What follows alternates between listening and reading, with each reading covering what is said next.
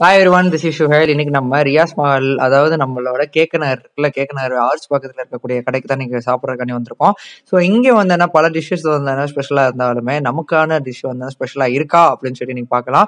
அண்ணன் சுட சுட வந்து சட்டியில் வச்சு தட்டி ரைஸை போட்டுட்டு இருக்கு. அதே மாதிரி தான் இங்கே வியாபாரமும் வந்து சுட சுட வந்து போயிட்டு இருக்கு. நைட்டு பதினோரு மணி வரைக்கும் போயிட்டு இருக்கு இந்த ஹோட்டல் பல ஐட்டம்ஸ் இருந்தாலும் அண்ணன் ஒரு தோசை கொடுங்க அப்படின்னு சொல்லி நான் ஆர்டர் பண்ண ஹோட்டலே திரும்பி பார்க்க நானும் என் இடத்த பார்க்க போய் வந்தேன்னா ஒரு இடத்துல செட்டில் ஆனதுக்கப்புறம் வந்துச்சுங்க. சுட சுட தோசையும் சட்னியும் ரெண்டு சட்னியும் சாம்பாரையும் வந்து மேலே ஊத்துனாங்க. அதை பார்க்கும் போதே வந்தேன்னா எச்சி ஊறிட்டு இருந்துச்சு. சரி எப்படா வந்தேன்னா டேஸ்ட் பண்ண பார்க்கலாம் அப்படின்னு சொல்லிட்டு இருக்கும்போது டக்கோட காம்போவை பார்க்கும்போது அப்படியே அந்த மொறுமொறுப்பு எல்லாமே வந்தேன்னா சேர்த்து கலந்தடிச்சு சாப்பிட்டா சூப்பரா இருக்கும்னு நினைச்சிட்டு நானும் வந்தேன்னா கலந்தடிக்க தாங்க இப்போ பண்ணிட்டு இருக்கேன். தேங்காய் சட்னி தக்காளி சட்னி தென் சாம்பாரை எடுத்து வாயில வச்சா ஆஹா அந்த மொறுமொறுக்கும் அந்த சட்னியோட எஃபெக்ட்டுக்கும் வந்தேன்னா அவ்வளோ பிரமாதமா இருந்துச்சுங்க. அப்- அப்படி ஒரு டேஸ்ட்ல சொல்லுவாங்க அந்த மொறுமொறுப்பா இருக்கட்டும் அந்த கார சட்னி இருக்கு அந்த ஒரு புளிப்பு செஞ்சு தேங்காய் சட்னியா இருக்கக்கூடிய அந்த தேங்காவோட ஸ்மெல்லு சாம்பார் எல்லாமே வந்தேன்னா சேர்த்து சாப்பிடும்போது ஒரு எஃபெக்ட் கொடுக்குதுல்ல.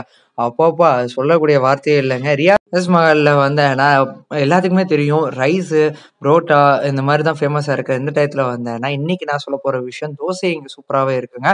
நெக்ஸ்ட் டைம் வரும்போது வந்தேன் தோசை தான் ஆர்டர் பண்ணி சாப்பிடலாம்னு சொல்லிட்டு ஒரு ஃபிக்ஸடாகவே இருந்துட்டே சொல்லலாம். ஸோ நீங்களும் வந்தேன்னா இதை ட்ரை பண்ணி பாருங்க. அப்படி ஒரு டேஸ்ட்டாக இருக்குங்க. தென் அதுக்கு முன்னாடி நம்ம சேனலை சப்ஸ்கிரைப் பண்ணாங்க சப்ஸ்கிரைப் பண்ணுங்கள் லைக் பண்ணுங்கள் ஷேர் பண்ணுங்க கமெண்ட் பண்ணுங்கள் தேங்க்யூ டேக் கேர் பாய்